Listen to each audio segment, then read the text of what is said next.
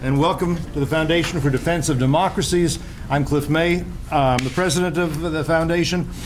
Um, and just so you know, this briefing is part of a series that we do here. Some of you have been to them before. We bring together experts for a productive and civil conversation on important national security and foreign policy issues. Um, and we're privileged to have with us a very good group today. A lot of people from industry, people from uh, fellow think tanks, people from government, a few from the diplomatic corps and the media, a group of, uh, of, of, of, experts and fellow wonks, and we're pleased to have you all here. Um, we're looking forward to your questions and uh, having a dynamic conversation. Most of you are familiar with FDD, but I'd like to say, uh, for those who may not be, just a couple of words about us. We were formed right after the attacks of 9 11 uh, to focus on national security, uh, foreign policy, terrorism, the ideologies that drive and justify uh, terrorism. Um, and we, uh, people who are affiliated with us, don't necessarily agree on everything. Uh, we agree on a few basic principles. Um, for example, that no one should be denied, denied basic rights. For example, that free and democratic nations have a right to defend themselves and an obligation to defend one another. And we think that terrorism, which we define simply as the deliberate use of violence for political objectives, is never to be condoned under any circumstances. So today we're going to be discussing, as you know, the new challenges uh, we have um, to missile defense arising from the rapidly changing situation in the in the Middle East. Here at FDD, we have long believed that the United States should maintain a comprehensive, multi layered missile defense system one that can deter any adversary and protect the American homeland, that first, but also U.S. forces abroad, and provide an umbrella for our allies as well. Um, we, uh, we should be saying, it seems to, to us, to adversaries and potential adversaries, that you're wasting your time and money building missiles because we have the means to prevent those missiles from reaching their targets, from reaching their intended victims. We could do that. We're not doing that. We should be doing that. Um, amid these concerns, we're honored today to be joined by uh, a true veteran on missile defense, a great expert on missile defense, and the Iranian threat, Dr. Uzi Rubin. Uh, he's the founder and the first director of the Israel Missile Defense Association in the Israeli Ministry of Defense, where he initiated and managed Israel's nationwide effort to develop, produce, and deploy its first missile defense shield. During his tenure, Dr. Rubin led the Arrow missile program from its inception in 1991 to the first delivery of operational missiles in 1999. Between 1999 and 2001, Dr. Rubin served as the Senior Director for Proliferation and Technology in Israel's National Security Council. He was awarded the prestigious Israel Defense Prize in 1996 and again in 2003.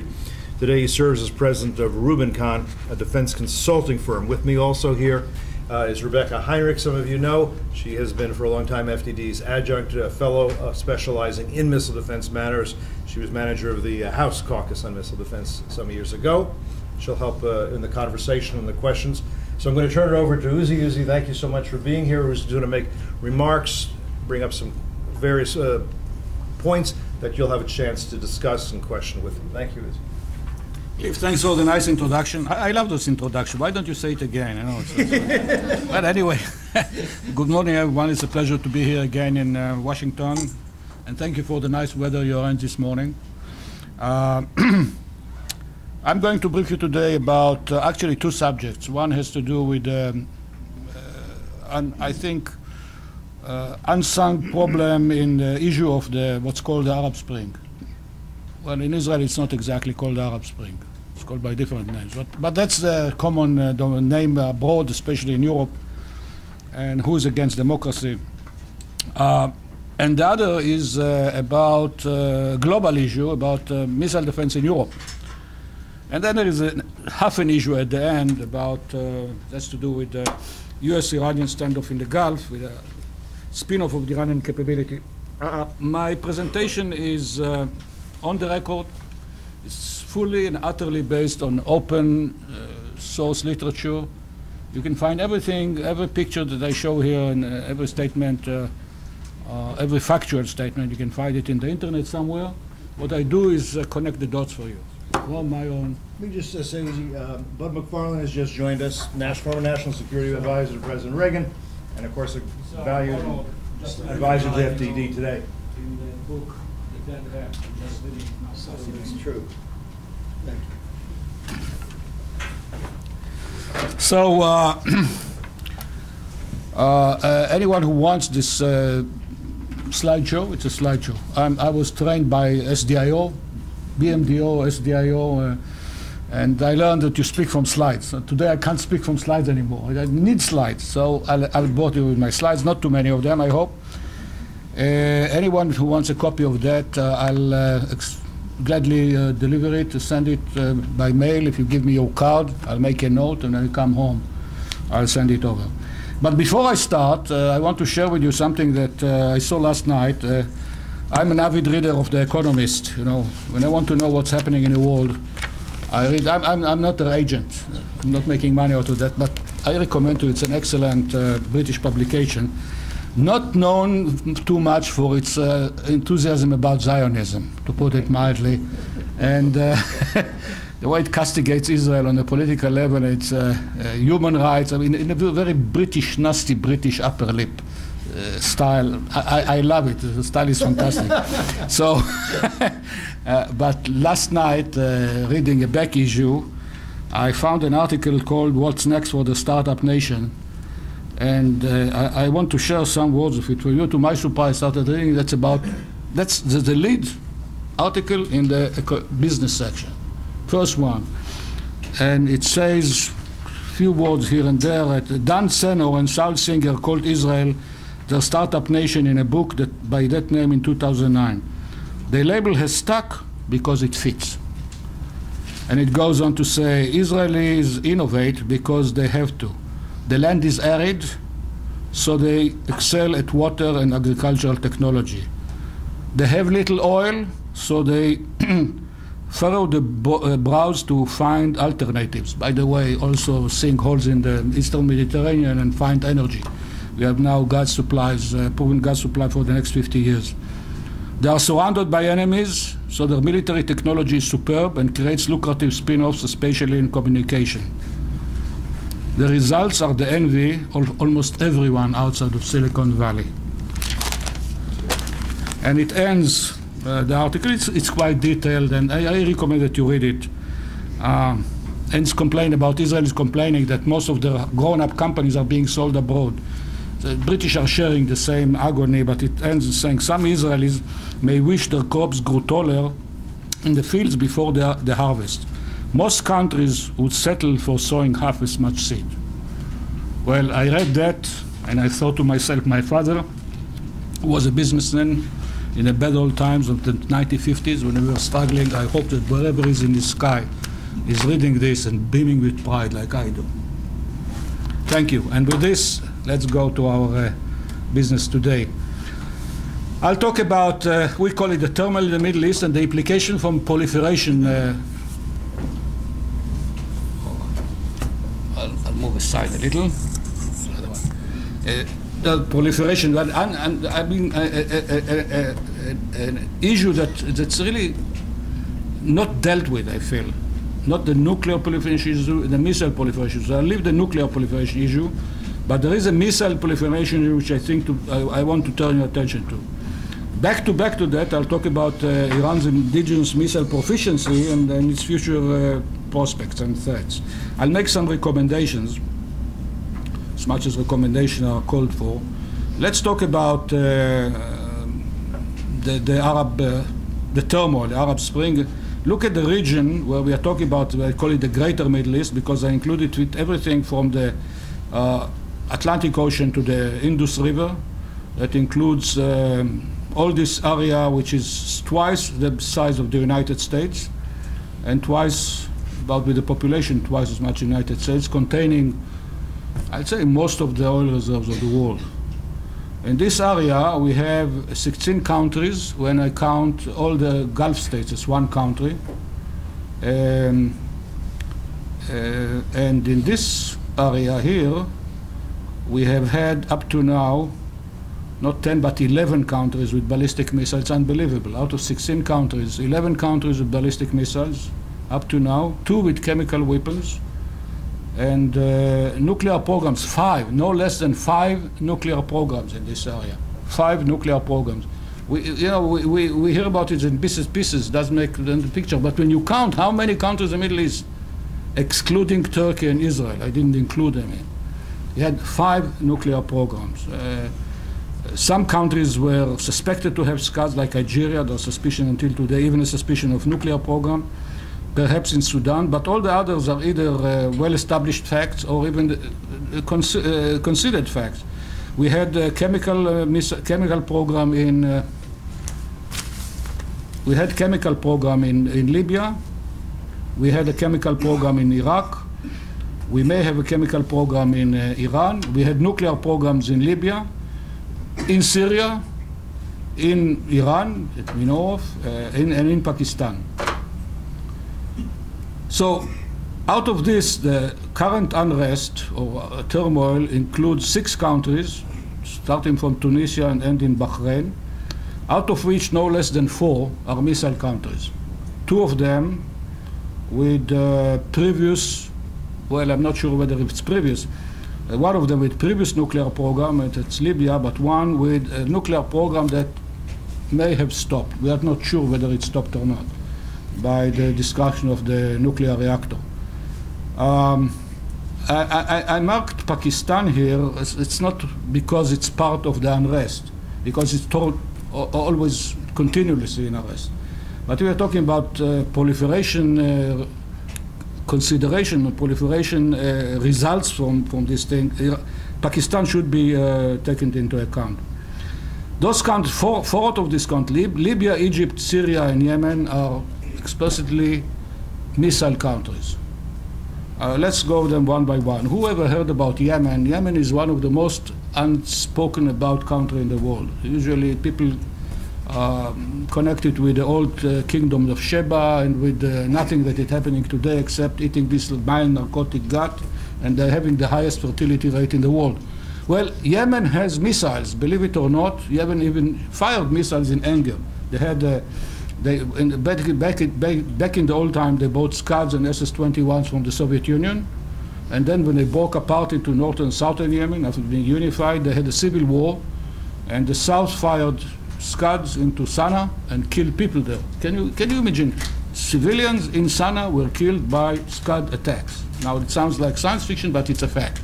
And the North, and the North fired SS-21s into Aden. I'm not sure whether they killed anyone or not. All those missiles are still there. What you see here is a picture from 2003 of a North Korean ship with shipment of Scuds for Yemen being stopped by the Italian Navy in the Indian Ocean, 2003, on the eve of the Iraqi uh, Operation Iraqi Freedom. The ship was impounded. The Yemeni government protested to the US government and U.S. government released those missiles to Yemen. So the missiles are there. Syria is second only to Iran at the amount of uh, energy and uh, resources it invests in building a missile. In fact, Syria started the missile things in the Middle East. After the uh, first Lebanon war, Hafez Assad, a shrewd guy, re realized that his air force, with air force, he'll never overcome Israel, so he decided to switch from air power to missile power. Actually, the origin of Arrow program came from that. Uh, Arrow program the beginning was not aimed against Iraq, it was not aimed against Iran, who ever heard about Iran at that time, it was aimed against the chemical missiles, that the stockpile that the Hafez were building at the time. In the meanwhile, that was three decades ago, uh, the Syrians were working on the quiet. Contrary to Iran, their policy is to be opaque. Until very recently, they didn't admit that they had missiles at all. You couldn't find a picture of a Syrian missile, actually not even a Syrian combat aircraft in, in, in the literature. Uh, last year, they opened up a bit and they had a flyby, uh, flyover of their Air Force, and all of a sudden you saw the Air Force uh, Sukhoi 24s, ancient stuff, Sukhoi 22, Sukhoi 24, real ancient stuff. And today they are so pressed for time that a, a month and a half ago, on December 4, for the first time, they showed on the television Syrian missiles being fired. And here are some of the pictures. I looked at that and I couldn't, it's like, you know, a, a butterfly collector who sees a rare butterfly. I mean, I was all excited. Here are Syrian missiles, a real Syrian Scud taking off. Whether it's B or C, it's not sure because they have the same dimensions. An M600, which is a copy of the Zilzal, and now they have a guided version of them. This is the SS-21 Tochka, probably made in North Korea by reverse engineering. Uh, that was used very successfully by the Russians in the Georgia War. Um, so these are new pictures. I didn't have them. A couple of presentations back, I didn't have them. I used to say a question mark. Never saw a Syrian missile. So I have all these missiles. I have hundreds of them with chemical warheads. And now uh, they developed uh, indigenous uh, R&D capability, and they have their own guided version of this thing. This is now a 300 kilometer, pretty accurate ballistic missile, developed and made by Syria. So they have this stockpile of missiles. It's there, it's maintained, and they have the unguided rockets, the 302 millimeter, which is what's used uh, to some effect in uh, the Second Lebanon War. And of course, they have the, or have had a nuclear program. Egypt in my, all my presentation as head of the Arrow program and afterwards, I never counted Egypt in as a threat because Egypt was not a threat. It's a country at peace with Israel. It is still a country at peace with Israel, but the future is murky now with the changes there. Who knows? Now we have to think about the fact that the Egyptians have missiles. Actually, they used to have them. They were the first country that introduced missiles to the Middle East. Uh, in the 1960s, they started their own indigenous program uh, with the help of, uh, you see some old pictures there, you can find them, them in, uh, in the Google, Google up uh, Egyptian missile, you find these pictures of three type of missiles that were developed for them, uh, IRBMs, short range and IRBMs, developed under the Nasser regime with help from Germany and France. Um, and then it was cancelled. In the 1980, they had another round of developing a solid, quite capable solid propellant two-stage uh, ballistic missile called uh, the Badr 2000 or Condor 2 with the help of European companies and in, in the Argentine. That was stopped uh, by American pressure. Uh, there was a, a, scandal here, if you remember the Hilmi affair. A spy was found in Silicon Valley, an Egyptian spy, an Egyptian immigrant who used to buy um, strategic stuff and ship it every Friday with the Egyptian embassy C-130 shipment to to to, uh, to, Cairo. Now, very stupidly, I read his record. Uh, why the CIA didn't catch him, why the CIA didn't catch him earlier, I don't know, because he would get his money, shipment of quarter of million dollars from a Swiss bank. Now, you don't do that, United States. IRS kills you. So, why didn't the IRS catch him earlier? I don't know. But it's very interesting. The, the court record exists. I read them very, with great attention. It's a great reading recently, the, before the revolution, there was some increased activity. Usually they keep their missiles very low, low profile. They don't speak about them. They don't admit that they exist. Uh, there are some rumors that they tried to buy Nodongs about five or six years ago, and again, American administration put its foot down on them. But slightly before the beginning of the revolution, there was an increased uh, uh, activity pictures came with increased activity in their test ranges, their test range, new buildings came, so some of them were doing something. Now everything was it's now of course uh, stopped, but they have dozens, if not hundreds, of capable ballistic missiles which are being maintained. Again, it's a country in peace, which is not part of the reference threat now in Israel, and I hope that it remains this way. Libya, uh, of course, does may not have missiles today. It used to have uh, uh, many missiles. They acquired Scud Bs from the Soviet Union in the 70s, like many other countries. They even fired Scuds in, in anger after uh, the attack in 1983 uh, on, uh, on, on Tripoli. They fired three missiles at Pantelleria, which is a small island, Italian island off their shore, didn't hit it they went to another round and built their own, tried to build their own 1,000 kilometer missile separate from the Badr program with I don't know whom. And then there was another round of uh, missile building with North Korea, probably either Scud Ds, 700 kilometers Scud Ds, or Nodongs, it's not clear.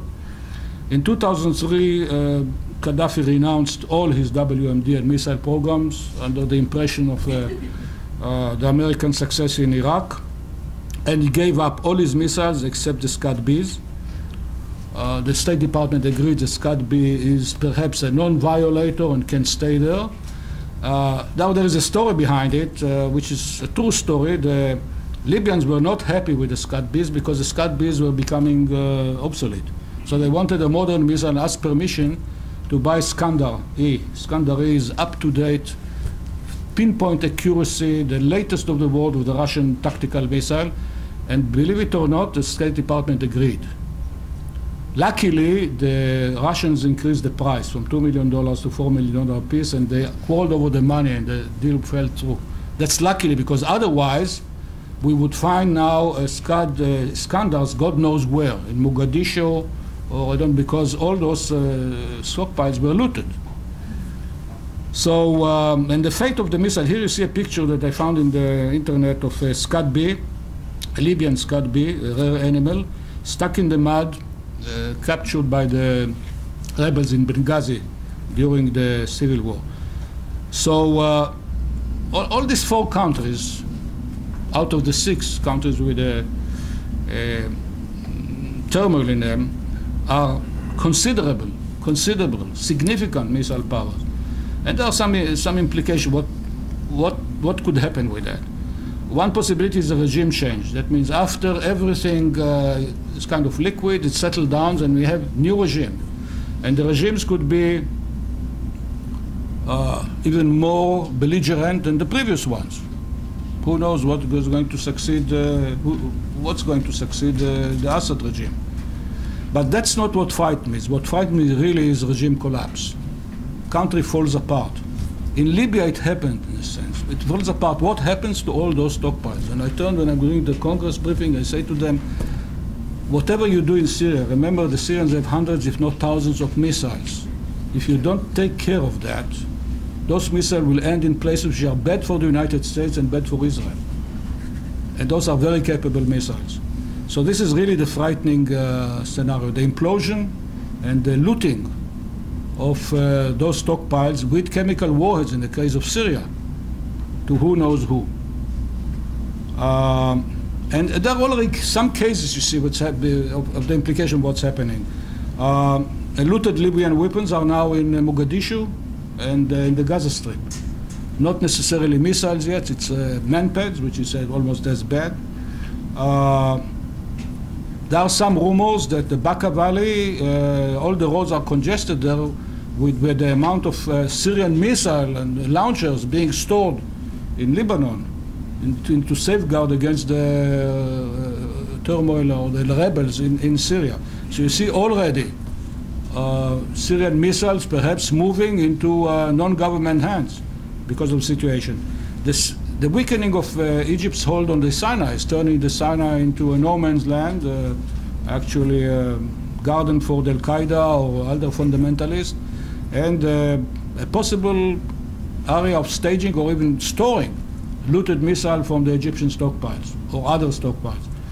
So uh, this thing, again, I find it, to my amazement, that those things are under the radar. You don't pay attention in the papers to them. This is one of the implications of the thing that uh, the United States as a superpower, I think, in my opinion, should pay attention to that and manage it uh, so that, that this, will think, this thing will go on, not go on. I'm not recommending that uh, Assad will be kept in power for stability. Assad should go.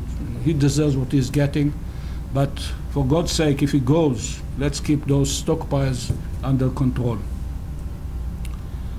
Uh, unfortunately, or fortunately, I don't know how to say that, but all those turmoil uh, doesn't include Iran. Iran is another story. There was some turmoil in Iran three years ago. Uh, there is no turmoil there yet. Now, uh, one would wish for some turmoil there. And unfortunately, in Iran, the situation in Iran is, uh, has another aspect uh, which I want to speak about. And that is a global aspect of the threat on Europe and perhaps on the US.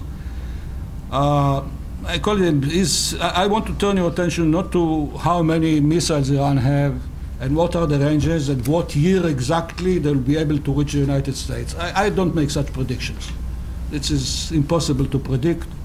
And what I want to talk about is about their uh, uh, proficiency. I turn your attention to a paper. This is actually uh, based on a paper I recently published in Arms Control Today, and I think that uh, you, you have it available here if you want to read it. So I'm going to uh, make, make a presentation out of this paper and go the highlights of it. Uh, what, what, what prompted me to, to write this paper is the argument which I'm involved in about Iranian proficiency. Why is this important in global terms?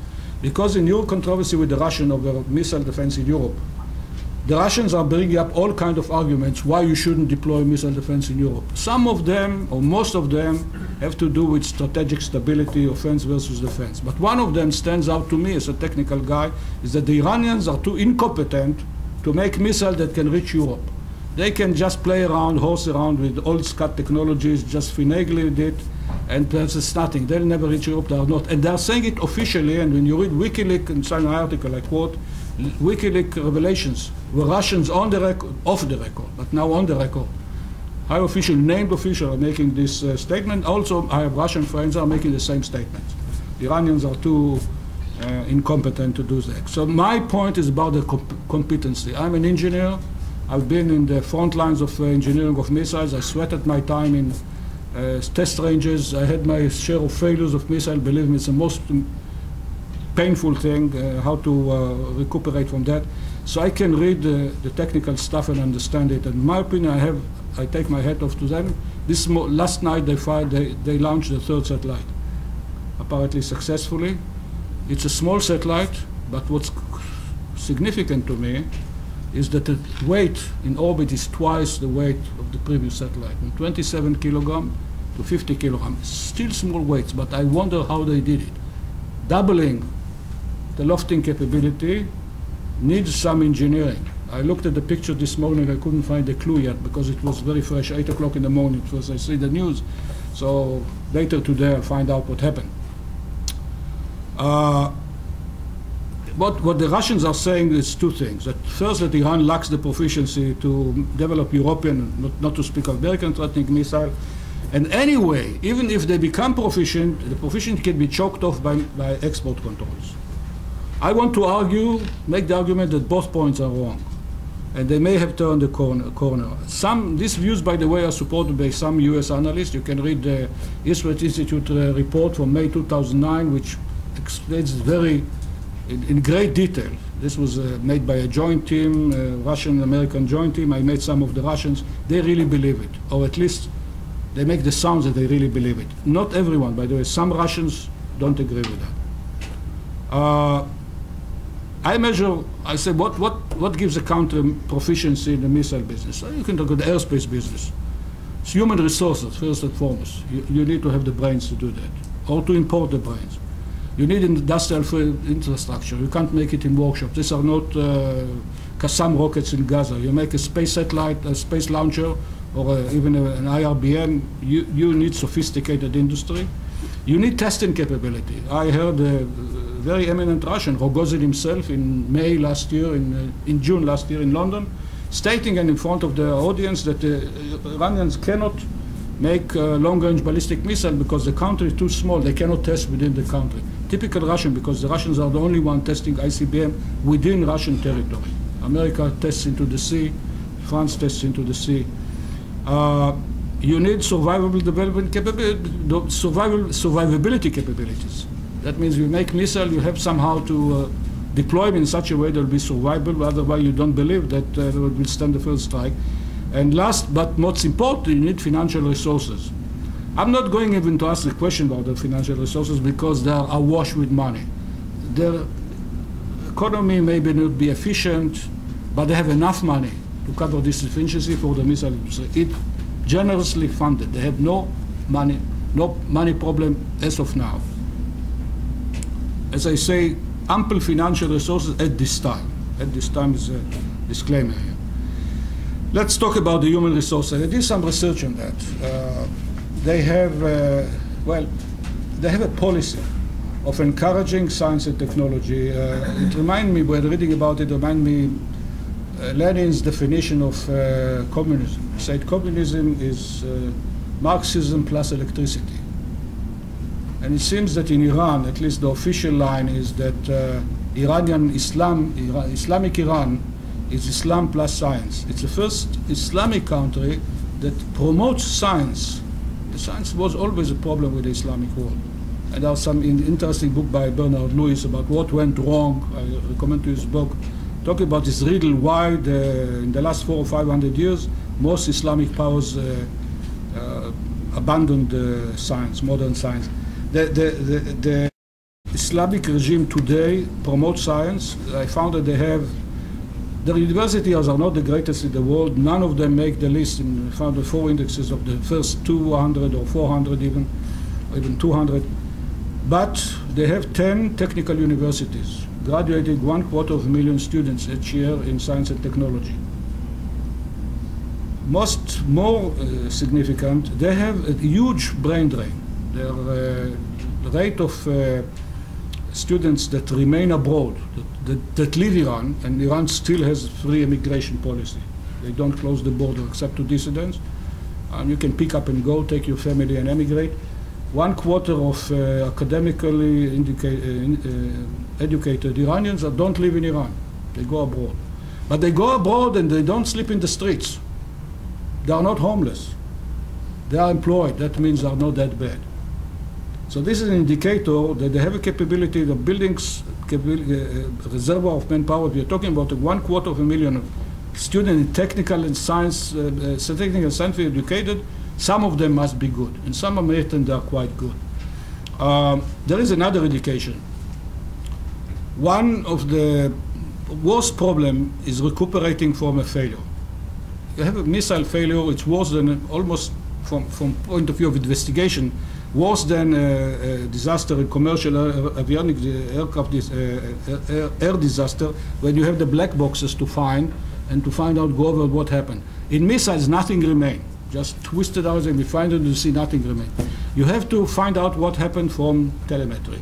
You need, this is hard work of hundreds, tens and hundreds of engineers sitting, poring over data, very, very ambiguous data, and guessing out what happens.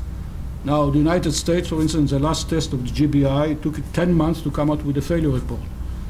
The Iranians uh, fired the first, uh, launched their first satellite uh, attempt in uh, August 2009. It failed. Six months later, the same launcher made a perfect launch. And the missile, this, this is achievement. I take my hat off for that. So there, there is a manpower there. There, is, there. there are human resources behind it. This couldn't be relying on three experts from North Korea. You know, you need all those workers and all this understanding to show that there is indirect evidence that they have the capable manpower. Finally, uh, the last evidence, all their new missiles from 2007, I don't want to describe them, all these things is huge. This is the tactical missile, a new IRBM, uh, excuse me, another tactical missile. This is a stripped down Scud-C, completely new guidance system, a new uh, two-stage uh, solid propellant ballistic missile and a trace launcher. Are all new. You don't see are original. You don't see them anywhere else. You don't see them in North Korea. You don't see them in China. You don't see in Russia.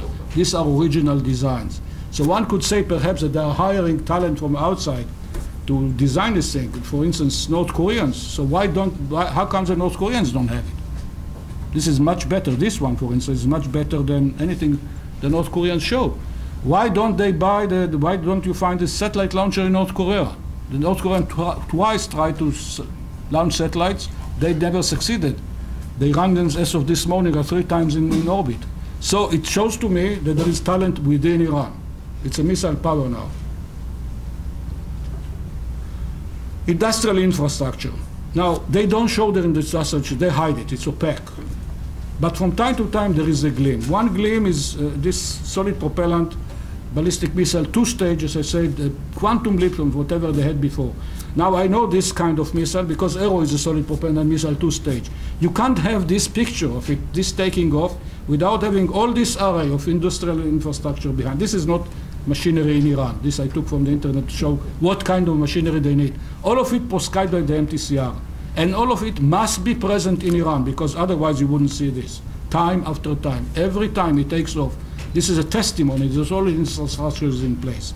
But from time to time, the Iranians are so anxious to brag that they show us some glimpses of real infrastructure, real muscles. This is something that usually the media pays little attention to it because it doesn't have a flash of fire behind it. They don't speak about ranges. But look at that. This is a new structure laboratory that they revealed half a year ago. I salivated when I saw it. Brand new, the best equipment. This is the section of a missile under a st- structural test. Look at the size of this missile. That's what they are preparing. This is ICBM size. And then, uh, to my surprise, I don't know why they didn't hit it, it's propaganda, they revealed a new plan for carbon fiber making on their own. Carbon fiber is strategic material, and in WikiLeaks, you find reference of the United uh, the State Department asking the uh, Chinese not to sell them uh, this material, which is crucial for uh, centrifuges and for making lightweight casings for solid uh, rocket motors. Here is the plant working, and he says it. The uh, uh, Minister of Defense, when he opens it, this is going to be used for solid propellant casings. So no doubt about it. Here's the infrastructure is there. Uh, testing capability. I'm referring to Rogozin point. First, equipment. They um, again they love to brag. Last February, by the way, why they launched yesterday? It's Space Day. So last Space Day they didn't launch anything. Instead, they showed there was static uh, display of space test range activities. Uh, All, all the missile activities are called space activities. Now I know this thing. We have our own test ranges. This is a test range equipment of first size. This is a track mount. Uh, here is a huge uh, telemetry antenna. This is a cinetheodolite. All this first class, brand new test range equipment that they bought from somewhere. All this is, by the way, uh, prescribed equipment. It- theoretically, you can't buy. Go to the United States unless you sign a lot of uh, uh, uh, claims, and uh, and even then, usually the won't sell you. So they got it from somewhere. But about the range of Iran, is Iran limited by uh, its testing? Uh, another uh, obstacle was lifted uh, last February when, they, for the first time, they fired two missiles, one after the same month, one solid propellant, one liquid propellant into the Indian Ocean. Now, an ocean test, uh, as I said, is uh, something which is, needs uh, some assets here at the end because it leaves no mark. When you test inside your country, inside from ground testing, you can always, at your leisure, go to the hole in the ground where the missile hit, take your tape and measure accurately where it hit. So you know you can calibrate your guidance system. You can't do it when you fire into the sea because what you left, nothing is left. There is a column of water, and after a while, uh, water comes down, and that's it. There's nothing left. So you have to have assets, an instrumented ship or an instrumented aircraft or whatever, to register the place of the uh, impact in order to, to measure it, and also some telemetry because you want to know if the reentry vehicle that came down came down in one piece or not in many pieces. So you need some telemetry, last minute telemetry. If you have such assets here, and that was a range of 1900 kilometers, at least that's what they said. Uh, in fact, you can place it downstairs, down, downrange, and further downrange, and further downrange, and further downrange. You can go all the way. They have free water, the Iranians, all the way to the equator and beyond. Actually, all the way to the South Pole. Just open the globe, see what there's nothing there, no land. They can go all the way down, half the earth. So, no problem developing ICBM. They have the test range now for ICBM. So another limitation was taken off. Until now, they tested only ground to ground. Now they test into the sea. This is a leap capability in quantum leap capability in capabilities. Last but not least is uh, survivability. So there are two claims. First, that uh, they cannot make the missiles small, and second, uh, because they will be big, they'll have to be above ground. They can't be underground. So the first claim I did uh, with some friends, some calculation of what a, a putative super Sejjil. Sejjil, the range of Sejjil, and the lowest estimate in the United States now, made by the uh, International Institute of Strategic Studies, my good friend Mike Elleman, 2,200 kilometers. Uh, even agreed by Ted Postol, 2,200 kilometers. Well, to my mind, I did my own calculation with some friend in the United States here, the, especially Dean Wilkening, formerly from Stanford. And our conclusion, we ran five different models, and we came to conclusion of between 2,400 and 2,600 kilometers. Um, if you take the first stage and you double the weight, which is very easy, it's very easy. relatively easier to scale up solid propellant motors than to scale up liquid propellant motors. So if you scale it up quite modestly to twice its weight, you'll get a missile which goes 3,700 kilometers. The same two stages. I mean, two stages, you don't need another stage. And the missile won't be much longer, and the weight will be sufficient. We- I, I consulted some experts on uh, uh, semi-trailer and how much weight they can take. It seems that the semi-trailer, the Iranian semi-trailer, which is now the mobile launch, will take this uh, bigger missile with comfort. No problem with that. They can mobilize it with the same, uh, probably somewhat strengthened, but essentially the same launcher they have now. But more than that, in July, the Iranians for the first time showed the inside of a silo, a reinforced silo. Well, everybody knew that they had them because uh, Google, sh- Google Earth showed pictures from above, overhead, of Iranian silos already three years ago in the Tabriz area. But here, for the first time, they took journalists, an Iranian journalist, inside the silo and showed him a missile inside the silo, and he asked them, "This is a Shahab?" They say, "Yes, this is Shahab 3." Uh, ring up MEMRI TV, and you'll find this um, program with English subtitles. You can see what, understand what they are saying. So is it is it a Shahab? Yes, this is a Shahab 3. So I, the, the dimensions are well known. I took this uh, freeze, I frozen this frame. I know the dimensions of the wingtip to wingtip. It's about uh, 2.5 meters. But look at the size of the silo itself. This is definitely built for something bigger. There's no problem to make bigger missiles and to put these bigger missiles in silo. And anyway, if the missiles are too big, remember that they have those uh, installation in and Qom. The civil engineers can dig down nine floors under the earth. They have no problem building silos. All this argument that you hear about, they are unable to make smaller enough missile and a big missile must stand on the ground is nonsense.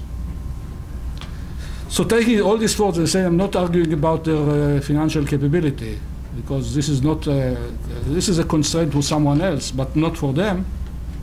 Taking human resources, industrial uh, infrastructure, uh, uh, um, and uh, uh, everything else they had, and I have in my, my mind they turned the corner, and with that corner you can do many things. I want to digress a minute to the situation in the Gulf. One of the things the Iranians did uh, to take an unguided rocket and make it to a guided rocket, reducing the CEP, the, the miss distance, from kilometers, virtual kilometers, to hundreds of meters. How many hundreds of meters, I don't know. But in the order of magnitude, I just want to show you the effect of this uh, thing. You have a lot of installations in the Gulf. You have your uh, headquarters of your fleet. You have uh, bat- uh, battle centers there. I looked at some of them in the article that I hope to publish soon. I'll, I'll, I'll mention some of your installations there. There are big installations. So let's look at what a rocket like that can do. Uh, here is Iran and here is Abu Dhabi, and I found out that the central power station now, Dhabi, this is from the secret map of Google Earth. You can find it yourself. And here is the power station itself in Google with 10 uh, uh, power generation units. And here is uh, what would happen if you take 10 of those unguided rockets, our huge rocket, three and a half tons, with a half a ton warhead, and throw 10 of them at this power station. Here is the power station. Uh, I have also a calculation, but I don't want to show you the graphs uh, to be technical. Just look at what's happened, what, what's, what's the prospects of hitting this with those unguided rockets? Almost zero. More accurately, they'll need to fire about 100 rockets in order to make 90% sure that at least one falls in it. But when the miss distance falls down to 500 meters, it's mathematically certain that they are going to hit this. Uh, this accuracy takes an unguided terror weapon and turns into the military weapon. And they have it now, it's operational. But worse news are coming. They took the same rocket and turned it into an anti-ship missile. It's not working. And they showed a, a video clip where they are hitting a ship in the sea. Uh, this is this is Photoshop. I, I, I analyzed it. I showed it. This is Photoshop. It's not true. They don't have the capability yet, but this is doable. Like the Chinese are doing the same thing, and the U.S. Navy is saying this is doable. There's nothing impossible here, and the components are almost commercial, commercially available now. So they are going to do it, going to be operational, and when it's going to be operational, going to work, it's going to cause all problem in all this Gulf area up to here. Now, why is this a problem? Because naval vessels now have adequate defenses against sea skimming attacks coming along the sea. But there is ad, very poor defense against plunging threats. Now, uh, U.S. Navy has SM-2s and SM-3s against IRBMs. Uh, this flows under the radar. This is a short-range thing, 300 kilometers. It doesn't go much high. You don't have much battle space to hit it. You need specialized short-range defense for your Navy in order to deal with these things. And we'll have it to have such defense too, because when this proliferates to Syria, we'll have the same problem in the Mediterranean with our Navy, and your Navy will have the same problem. So I'm just lighting here the amber, um, uh, the amber light or the red light. The, this is this is coming. I digressed a bit to the tactical and go back to the strategic.